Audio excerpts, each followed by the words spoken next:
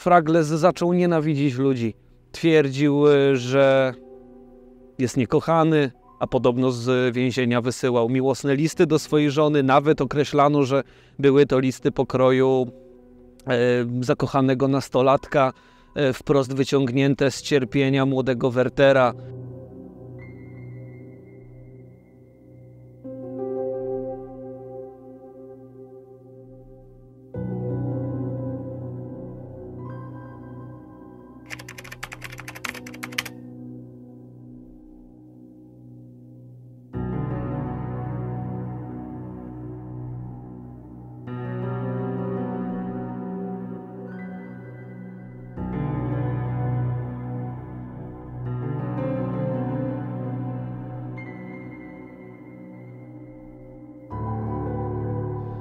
Witam Was w kolejnym odcinku Miejsca Zbrodni. Jak widzicie, dzisiaj jesteśmy w terenie i nie bez kozery na warszawskim Ursynowie. Dzisiejszy odcinek skupi się na postaci Krzysztofa M. pseudonim Fragles, który jest lekko zapomnianą postacią, jeśli mówimy o tej grupie przestępczej.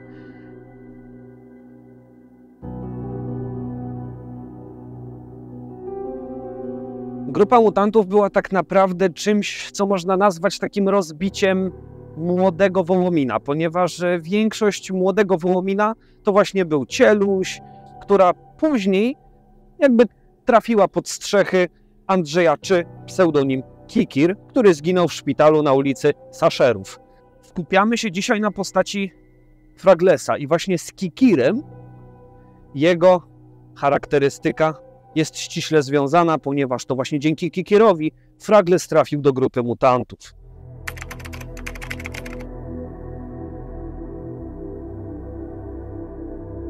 Krzysztof jak wspominałem, był byłym antyterrorystą, co dla grupy mutantów było całkiem e, fajnym kąskiem. Dzięki takiej osobie mogli poznać, jak działają antyterroryści i mm, mogli, że tak powiem, w grupie uprzedzać e, działanie policji, tudzież e, złapanie. Jednak historia, jak mówiłem, Fraglesa łączy się z Kikirem, ponieważ tutaj akurat nie znalazłem żadnych informacji, ale Fragles przez pewien czas pracował jako ochroniarz i miał dzięki temu, że pracował wcześniej jako antyterrorysta, to miał pozwolenie na broń. Więc zaprzyjaźnił się z Kikirem i dzięki temu po prostu zaoferował się e, Kikirowi, że mógłby e, Fragles mu sprzedawać e, naboje 9 mm legalnie, no bo posiadał broń, więc mógł sobie amunicję dokupywać. I w ten sposób właśnie Fragles trafił pod strzechy Kikira, który był uważany za przywódcę grupy markowskiej. Jednak, jak już wspominałem w innych odcinkach, Kikir został prawdopodobnie zlikwidowany przez członków grupy mutantów. Tak, jeszcze jako ciekawostkę powiem, że to właśnie Kikir miał powiedzieć: e, Zobacz, jakich mam mutantów, e, więc to można powiedzieć, że oni stricte wywodzili się od niego. Jednak, jak mówiłem, Kikir został zastrzelony w szpitalu i grupa mutantów tak naprawdę była rozbisurmaniona. Grupa mutantów nie liczyła się z nikim, nie liczyli się z żadnymi zasadami. Łatwo sięgali po broń, jednak e, jeżeli mówimy o Fraglesie, to dołączył on do, do grupy, będąc człowiekiem niesamowicie smutnym. Miał on wcześniej swoje występki, trafiał do aresztu, e, jednak w pewnym momencie zaczęła dość mieć tego jego rodzina, czyli e, syn i żona, która w momencie, kiedy Fragles siedział w więzieniu na Rakowieckiej, na Mokotowie, postanowiła od niego odejść. E, Fragles podobno czuł się bardzo, bardzo tym faktem poruszony, coś co, że, że była to sytuacja, która go niesamowicie, można powiedzieć, złamała. E, przynajmniej to możemy wyczytać z książki Komando Śmierci Janusza Szostaka, przez co Fragles zaczął nienawidzić ludzi. Twierdził, e, że jest niekochany, a podobno z więzienia wysyłał miłosne listy do swojej żony. Nawet określano, że były to listy pokroju e, zakochanego nastolatka, e, wprost wyciągnięte z cierpienia młodego Wertera. I tak naprawdę, jeśli mówimy o Fraglesie, to sytuacja, gdzie właśnie został on sam, spowodowała jego upadek.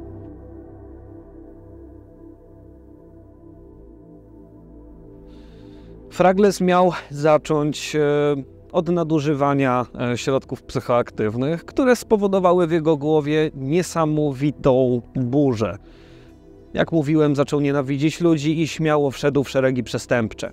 Co natomiast policja na to, że były antyterrorysta um, współpracował z gangsterami, potraktowali go jak zdrajcę. To już nie jest jeden z nas. To już jest osoba splamiona. Dodatkowo grupa mutantów i zarówno koniec historii e, Fraglesa był związany ze słynnym napadem i równocześnie strzelaniną 22 na 23 marca 2002 roku w Parolach, gdzie pod Piasecznem grupa mutantów przejęła tira, który miał w sobie masę sprzętu RTV. Policjanci, chcąc spisać zawartość, jaka jest e, w tirze, no napotkali na pewien problem, jakim była grupa mutantów, która po prostu nadjechała, myśląc, że to jakaś przeciwna grupa chce zabrać im przejęty sprzęt. Więc, jak mówiłem, mutanci sięgali bardzo łatwo po broń. I w tamtym momencie krzyknęli policjanci, że my z policji. I mutanci powiedzieli: My też jesteśmy z policji. Rozpoczęła się strzelanina. Była taka zasada w grupach przestępczych, że do policji się nie strzela. I ta historia skończyła się tragicznie, która spowodowała, że służby tak naprawdę zaostrzyły prawo dotyczące potem e, używania broni e, w takich sytuacjach. Ponieważ na miejscu zginął podkomisarz Mirosław Żak. A tego policja już nie mogła puścić płazem. Możecie się wystrzelać między sobą, możecie tak naprawdę eliminować się nawzajem. Mogą być bomby, mogą być strzelaniny, ale niewinni ani policjanci nie mogą ginąć. I tego dnia doszło do precedensu, ponieważ zginął policjant. I wtedy policja stwierdziła: Musimy wytoczyć wojnę gangom. Bo, jak mówiłem, grupa mutantów nie miała takich szlachetnych zasad. Powtarzam, zasad, jak miała grupa pruszkowska, grupa z Wołomina, czy inne znane nam grupy przestępcze. I tak doszło do tego, że policja postanowiła wejść na wojenną ścieżkę z mutantami i tak tutaj właśnie, jak mówiłem, nie na darmo znajdujemy się na Ursynowie. Ponieważ to właśnie w tej dzielnicy, na ulicy Ciszewskiego, łamane na Cynamonową, doszło do zatrzymania Krzysztofa M. pseudonim Fragles, Piotra R. pseudonim Gruby i oni również zaczęli strzelać do policjantów. Ale jak ta sytuacja dokładnie przebiegała? Przejdźmy na miejsce zdarzenia.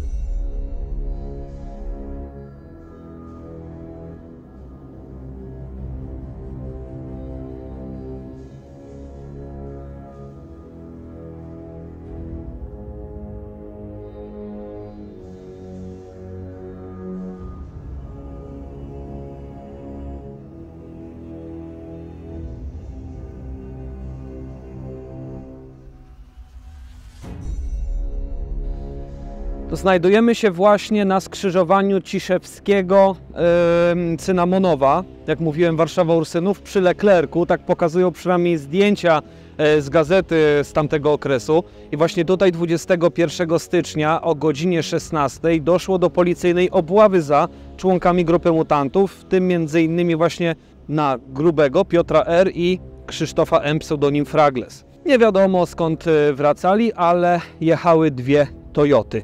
Y, jedną policjanci bardzo szybko zatrzymali, skuli y, bandytów, y, przesłuchali, puścili wolno, bo jak mówiłem, było to pokłosie tego, że policja tak naprawdę chciała schwytać zabójców Mirosława Żaka, więc wzięto pod lupę całą grupę mutantów. Jednak właśnie problem pojawił się z Grubym i Fraglesem, którzy jechali drugą Toyotą Corollą białą, i zajechał im policyjny e, wóz drogę, wyjęli policyjnego koguta, e, myśląc, że gangsterzy szybko się zatrzymają, dają się skuć, tak. E, a warto wspomnieć, że już w tamtym okresie zmieniła się ustawa dotycząca używania broni. Więc normalnie policjanci już nie musieli się obawiać, że jak strzelą, to będą mieli jakieś wyciągnięte konsekwencje z takiego wydarzenia. Więc Gruby i Fragles nie chcieli dać się zatrzymać, ale policyjny radiowóz, e, cywilny co prawda, e, ich zatrzymał. Co się stało? Oni nie wyszli. Nagle z e, samochodu, kiedy policjanci krzyknęli stać policja, padł strzał przez przednią szybę Toyoty Corolli, gdzie strzelili w stronę policjantów. Oni wyszli, gruby, jak i Fragles padli. Policjanci już nie cackali się z gangsterami, wiedzieli, że oni bardzo szybko wyciągają broń, więc oni też muszą, jeżeli prawo na to im pozwoliło, działać równie szybko i skutecznie. Gruby padł martwy na miejscu. Myślano, że Fragles przeżyje, może jakieś informacje uda się y, dzięki temu wydobyć. Jednak Fragles po kilku godzinach na stole operacyjnym w szpitalu zmarł.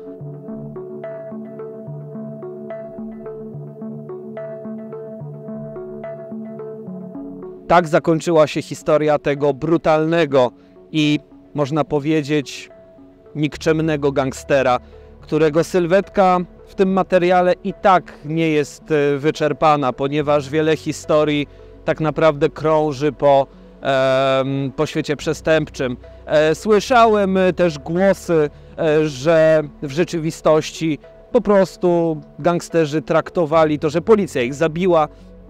A jako ciekawostkę podam, że w momencie, kiedy doszło tutaj właśnie do strzelaniny, przechodnie zaczęli klaskać.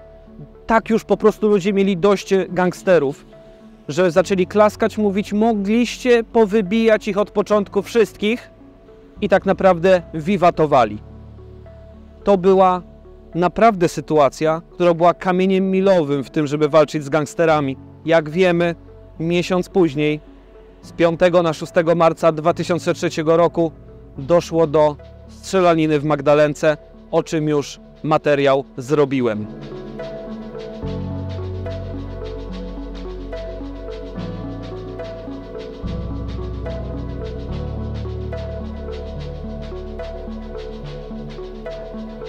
Jako ciekawostkę podam, że cała sytuacja strzelaniny w tym miejscu została sekranizowana w drugim sezonie serialu Pitbull, jednak działa się ona ze względów pewnie fabularnych w zupełnie innym miejscu, więc stanowi to taką e, ciekawostkę, jeśli chodzi o kwestie filmowe. Dziękuję Wam za obejrzenie tego odcinka. Widzimy się w następnym. Powiedzcie, czy takie odcinki terenowe Wam się podobają. Dziękuję Rafałowi za pomoc w realizacji materiału, jak i również Wam oglądającym za wszelkie łapki subskrypcje. Powiedzcie, czy chcecie więcej takich materiałów z miejsca zdarzenia, bo jest to z pewnością ciekawe doświadczenie. My widzimy się w kolejnym odcinku. Piszcie komentarze i powiedzcie, co myślicie o całej sprawie. Mam nadzieję, że dowiozłem tematu, a przynajmniej starałem się jak tylko mogłem. Do zobaczenia.